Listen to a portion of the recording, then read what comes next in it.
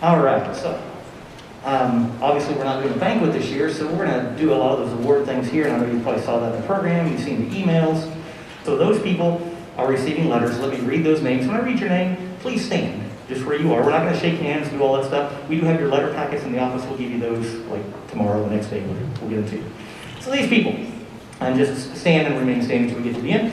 Caitlin Anderson, Alistair Burnshoyt, Olivia Boothside, Sierra Boyd, Logan Bristow, Tania Brown, Will Calhoun, Tess Colbett, Jackson Deerdorf, Kate Dement, Lydia Dutcher, Hunter Fick, Ethan Fritz, Josh Gambier, Abigail Brickman, Quinlan Hall, Haley Hanson, Amelia Hart, Zoe Isom, Henry Kloster, Joseph McDonald, Victoria Major, uh, Victoria Tori McDonald Kershaw, Colin McKinney, Katie Moffat, Alexis Morris, Andrew Miller, uh, Daniel Novodesky, uh, Trip Palmer, Larissa Piker, Ga- Gael Salas, Nolan Shackelford, Nick Speckman, Nathan Staggs, Elena Strauss, Alex Taylor, Naren Timms, Ella Vogt, Kyson Wakefield, Abigail West, and Cameron Yates. Give it up.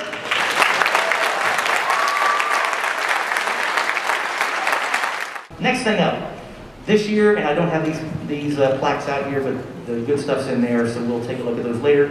But certainly want to say a huge thank you to our outgoing senior drum majors, one of which, Tier, never got to conduct in front of the crowd at home. And I feel really badly about that. But still appreciative because they've both been great leaders, and that's Amelia Hart and Tess Colton. Would you guys stand and be with? Thank you guys.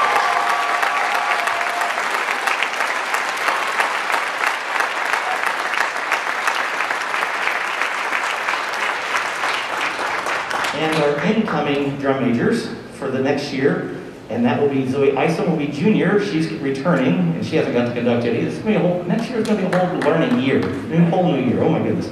And Alexis Morris and Abby West.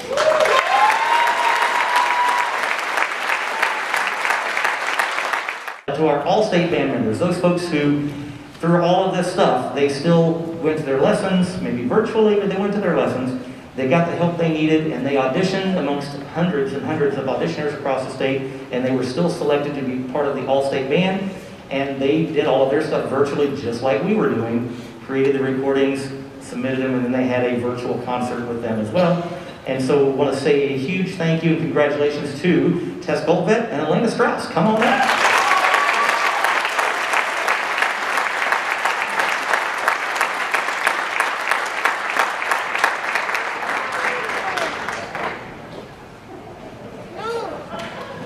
So awkward. awesome. Proud of them. Come on down, Emily Burns. Give it up for Emily. Come on. Come on.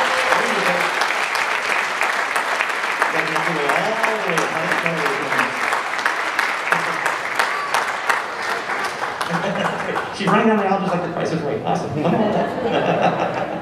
Sorry, the only present we have is just a name on a plaque, but you know, that's all we got. So, the Band-Aids presidents, uh, for those of you, again, new rookie parents coming in, the Band-Aids Booster Organization is usually incredibly active. One of the most active booster clubs in Shawnee Mission West, and very highly respected for all the things that we do. Um, this year we didn't do much, but neither did anybody else. But this lady right here kept calling and, and emailing and texting, going, anything I need to do? Anything we can do? What's going on? What do we need to do? Oh my gosh, what? And before the pandemic hit, She's the one that organized and put together our Viking Village Craft Fair for the first time, which is a huge undertaking. Yeah, yeah. Incredible leader, wonderful person to deal with, keeps me on the straight and narrow, which is not easy, but wonderful, and her name goes on the plaque as a former president of, of the Band-Aids organization, and she promised me she'd still be around next year to help us out as we get restarted and reconnected. So parents that are in here, we're going to need your help. Not only is it a London year, but we've got to get Viking Village back up and running and so many other things. And again, it's not about, this organization is not about the two of us. It's truly about all of you assisting and helping these guys reach their goals. And she's been tremendous at helping, and she'll continue to help us out with that, but we need you in there as well. So, Emily, thank you. Thank you for everything. You're awesome. Give it up. And we do have a couple of awards that we uh, give annually for uh, all kinds of out, just outstanding leadership and outstanding uh, members of our group.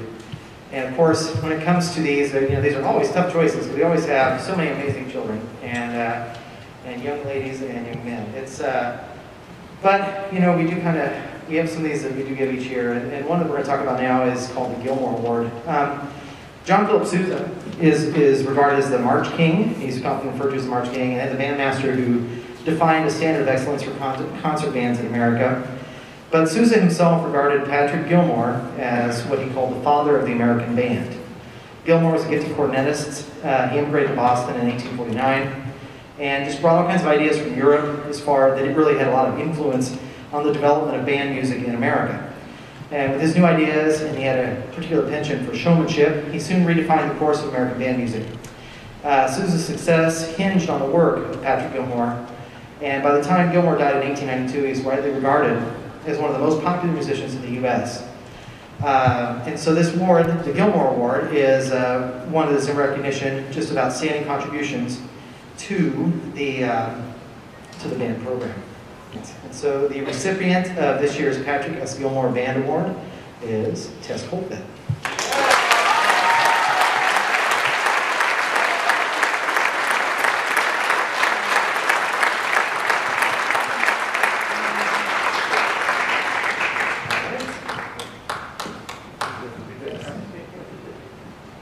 So her name will go up on a plaque that lives in the band room entryway, she gets plaque to take with her.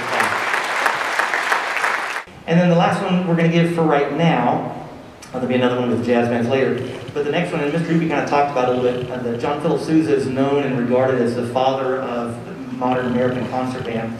A great musician, he really established so many things that we do. I mean, this band and this setup, this instrumentation was his concept. Um, the modern concert band came from what Sousa did, and his outstanding musicianship led him to try new, new things and different things. Um, he was a cornetist by trade, but you know, the solos and just, I mean, so many things that Sousa brain had a brainstorm on, and it became what we do today. But his musicianship reigned supreme. When he toured the world, I mean, people would, they continued clapping, and, and he'd give six and seven encores because of the musicianship he instilled in the band. So the Sousa Award is a national award given all across the country, and we've been doing this here, goodness, I think since the school opened. And so this person's name will go on the plaque again that lives in the entry hallway to the band. They'll get a uh, little placard to go with them, but it's just with great pride that I get to recognize this person for everything they have done, everything they have practiced for, everything they've worked for to be an outstanding musician. Ladies and gentlemen, I'd like to introduce you to Miss Elena Strauss.